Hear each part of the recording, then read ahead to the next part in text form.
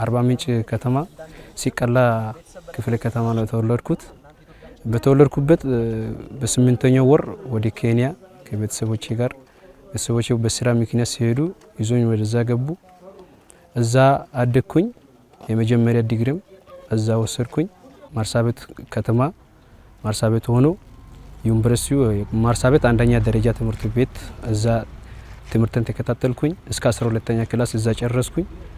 ደግሞ ሞምባሳ ዩኒቨርሲቲ የመጀመሪያውን ዲግሪ ከሞምባሳ ዩኒቨርሲቲ ነው የተቀበልኩት እና ስራውም ደግሞ የጀመርኩትም እዛው ሞምባሳ ነበር። በመንግስት ስራ ተቀጥሬ ስሰራ እዛ ቲቪ ላይ ምናምን ስለ ሀገር ምናምን ስወራ በቲቪ ላይ ማየው ነገር ሁሉ በቃ ተገቢ ያልሆነ ነገር አየው፣ አልቻልኩም። በተመረኩበት ሙያ በሁማን ሜዲሲን ነበር የተማርኩት፣ ዶክተር ነበርኩኝ። ያን ስራ ለቅቄ ወደዚህ ዓለም ለመግባት ሀገሬ ሄጄ አባቴ እናቴ ሀገሬ ሄጄ እዛው ወታደር ሆኜ ሀገሬን ጠብቃለሁ።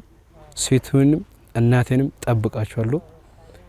በእኔ ደም በሴቶች ላይ በሀገሬ ላይ የሚመጣ በደል አቆማለሁ በማለቴ ወደዚህ ቆርጬ የገባው መጽሐፍ ምናምን የኢትዮጵያ ታሪክ ሳነብ ነበረ እና አባቴ ደግሞ መጀመሪያ ወታደር ነበረ። ከዛ ሁሌ በቃ ይነግራል እኔን የሚመስል ሰው እኔ የሚመስል ልጅ ያጣው ምናምን ይለኛል ሁሌ። ከዛ አንድ ቀን በቃ ይህን ዋናው ቆርጬ እንዲመጣ ያደረገኝ የእሱ ንግግር ነበረ። እኔ ሀገሬን ስጠብቅ በእኛ ጊዜ እንደዚህ አይነት ነገር የለም። እኛ እንኳን ሌላ ሰው እኔን አባት እንኳን ማያከብሩ ልጆች እናንተ ተዉትና ሌላ ጎረቤት ሰውንን ስናከብር ነበር ያደግ ነው እናንተ ምናምን ብሎ በእኛ ላይ በቃ ሌላ ነገር ያውላል። ለምን እንደዚህ ተጨናንቄ ታወራለህ ምናምን ስል እንደዚህ እንደዚህ እንደዚህ እንደዚህ እያለ ሀገሬን በትዝታ የሚል መጽሐፍ ነበር የሰጠኝ። በደርግ ጊዜ ነው የተጻፈችው።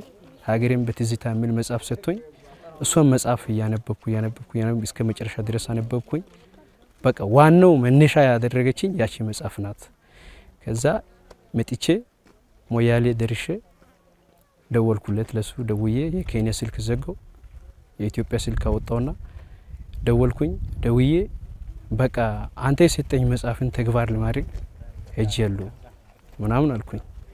ከዛ መጨረሻ ላይ እሱ ያለኝ በቃ እኔ አንተ ጋር ባልመጣ እኔ አንተ ጋር ባልመጣ እንኳን በሚዲያም በስራም ይሁን አያሉ እኔ ገና ልጅ ወልጅ የለው ምናምን አለ። ከዚህ ቀጣይ ያለኝ ህልሜ አንዴ ወሰኝ ቆርጬ ገብቼበታለሁ።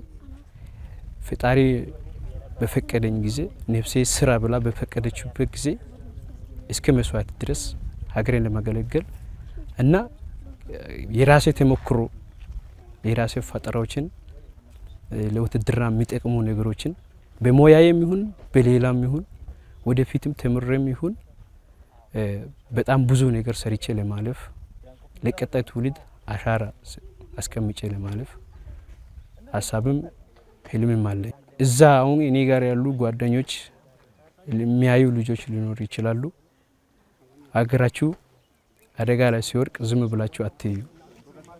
መታችሁ ውትድርና ዓለም ላይ ገብቶ የየራሳቸውን የየራሳቸውን አስተዋጽኦ አድርጎ ቢያልፉ ሀገሪቷን ቢጠብቁ